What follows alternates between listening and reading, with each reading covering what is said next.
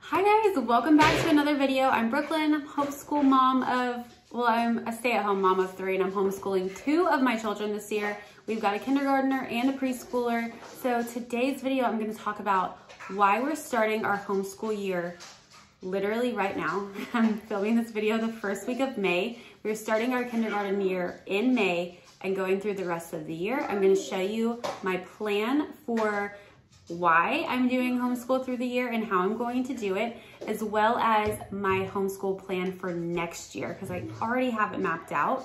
I'm also gonna talk a little bit about why I'm doing homeschool year round and not following the traditional public school schedule. It works really well for our family so far. I don't know if I'll change it up, but so far we like it. Let's get started.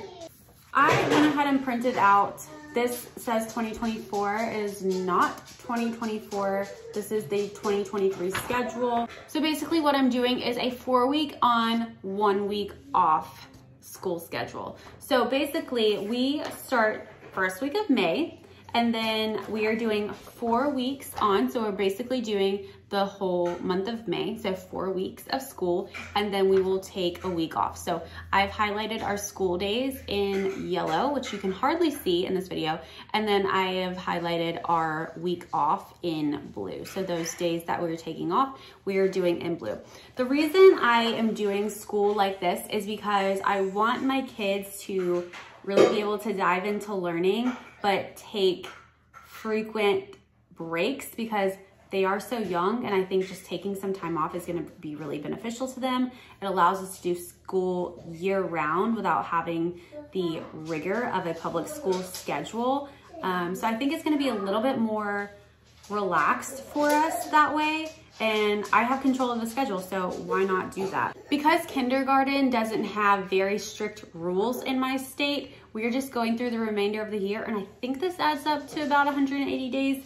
I'm not 100% sure on that, but we don't have to hit exactly 180 anyway for kindergarten. So we're just going through the end of the year. If we finish early, we finish early and that's great. If we don't finish all of the curriculum choices we have, then we'll just start them in the new year um, with the new schedule. But I have a feeling we'll finish everything on time this year.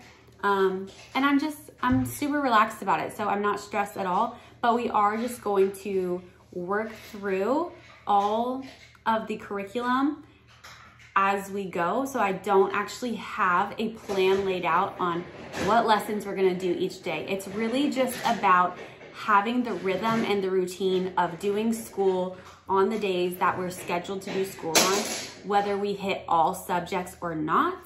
I do also have a class schedule. Let me get that real quick because it's super cute. I went ahead and laminated this. I found it on, I found this template on Canva and I added a little bit more to it. I filled in the days with the classes that we're going to do. And um, so we're following that schedule Monday through Friday. And then I have a weekend slot as well where I just put, we go to the library, we do a little bit of reading. That's all I really care about getting done on the weekend because we're kind of like a Monday through Friday type, really Monday through Thursday, but I do have Friday as like a little bit of extra for our class schedule. So we are filling the Monday through Friday. Oh, this is my other schedule, sorry. We are filling the Monday through Friday um, like attendance schedule with the class schedule that I have right now. And it's it's just super cute. I love creating stuff like this. I have it laminated up on our fridge and this is what we're following daily and I love it. Now, going into next year, this is not as pretty. This is a rough draft of what the schedule will look like. I'll probably end up doing another calendar that looks like this and laminating it. I haven't laminated either of these sheets yet.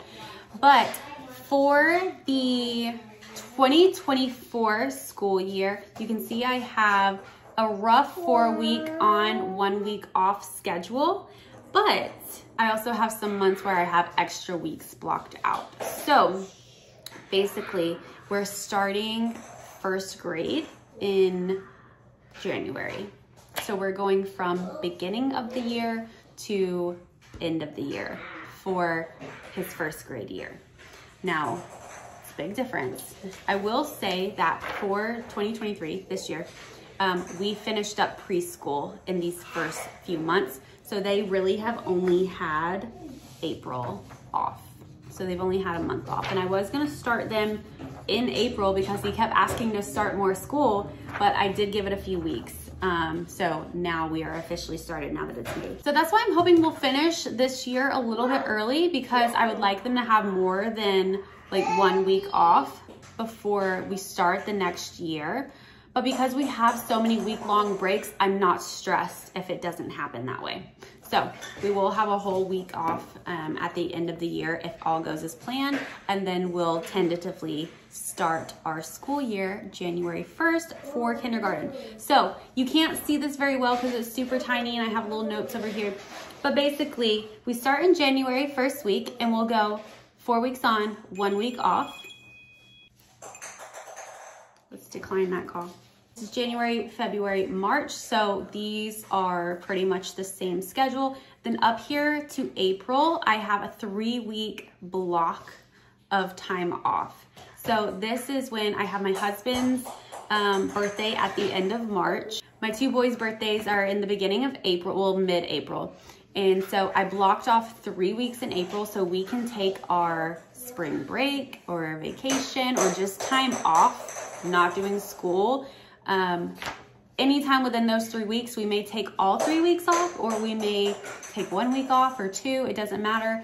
Um, but I have three weeks blocked off for us to do whatever we want at whatever time we want and we don't have to follow the spring break schedule of the public school. So if we take our spring break and go on vacation, we don't necessarily have to be there when all the spring breakers are there. So I really like having a big chunk of time off. I think it's kind of like a nice break for the kids. So we're gonna do that in April, start back up, and then we'll follow the four weeks on, one week off again, just like this, all the way until September. So September is another month that I have a little bit of extra time off because this is when me and my husband's anniversary is, and we like to have a little bit of wiggle room for when we want to schedule vacation or take the whole two weeks off if we'd like to. So I have two weeks off for that as well. And then following back that two weeks on, one week off until we reach 180 days, which is this last week um, highlighted in green. This is our last week of school. For my state, um, since my son will be six and entering first grade, we do have to follow the homeschool laws for, um, for our state, which is 180 days of school. Following the schedule, we have exactly 180 days of school, and then we finish the week before Thanksgiving, and we have the whole month of December off as well. I think this is absolutely genius. I think it's perfect for our family. And then we'll take all that time off around the holidays and January 1st, we'll start back school again. When kids are already starting back school, it's not gonna be any different. Um, so this is just gonna be a nice little, um, I'm really looking forward to this schedule happening. So we have a little bit of a taste of the four weeks on, one week off this year, but it's gonna be slightly more condensed. But because it's kindergarten, not as rigorous, basically that is how we are doing homeschool. That's how I've planned our homeschool years for really all the upcoming years. I think that that would be a perfect schedule for us. Of course, if I start doing it and it doesn't work, I will change it. But this is the plan for now. This is what I believe is going to work for us this year and in the coming years.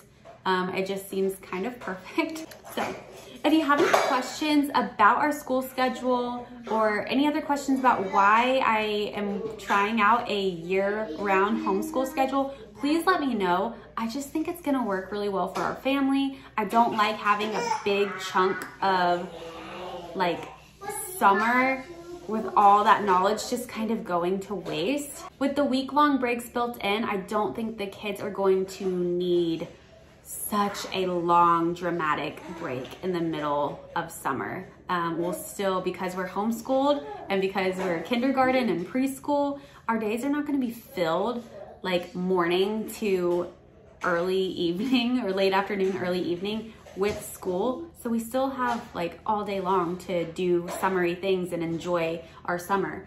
um, we're just not gonna let all the knowledge escape us this summer. So I think that's gonna really work well for us. So we will see how it goes. If you follow a similar schedule or something a little bit different, let me know what your schedule is like down below in the comments and let me know your thoughts. Do you follow the traditional public school schedule or do you create your own schedule for your homeschool? Let me know in the comments. If you have any other questions or you wanna connect on social media, my Instagram is down below. I would love to have you guys on there. Um, that is where I'm usually spending my time, but I will try to get back to uploading more videos at least once a week because I miss doing these and it's a little hectic, it's a little chaotic, but I actually really enjoy coming on here and talking to you guys about homeschool curriculum and plans and all of that. Thank you for watching this video. Thank you for sticking around and hanging out with me. If you have any comments or you want to chat about anything at all homeschool related, please leave them below. I would love to connect with you all and I hope you have a really great day. Bye.